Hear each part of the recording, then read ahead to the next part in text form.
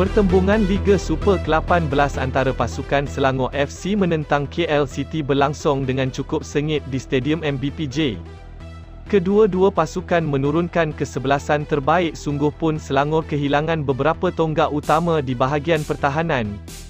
The City Boys turun dengan momentum terbaik di bawah kendalian pengendali baharu, Nenad Bacina. Percubaan tepat oleh KL City hadir menerusi sepakan percuma Paulo Josue namun mudah ditangkap oleh penjaga gol tuan rumah, Sam Somerville. Pasukan bimbingan Tan Cheng Ho bangkit dengan melakukan dua percubaan berbahaya menerusi Orozco dan juga Iron Del Valle namun diselamatkan oleh Kevin Ray Mendoza.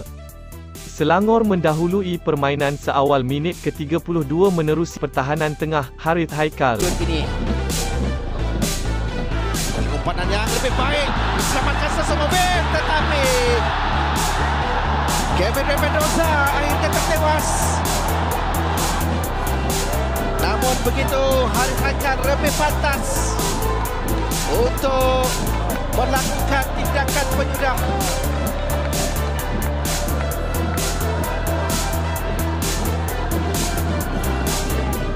Umpanan dari Orozco tepat kepada Aaron Valley.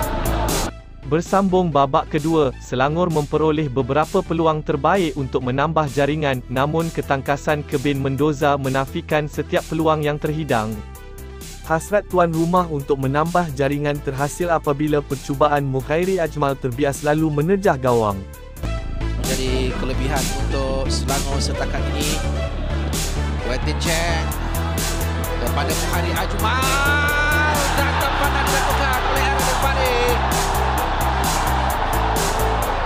jaringan yang kedua buat Selangor.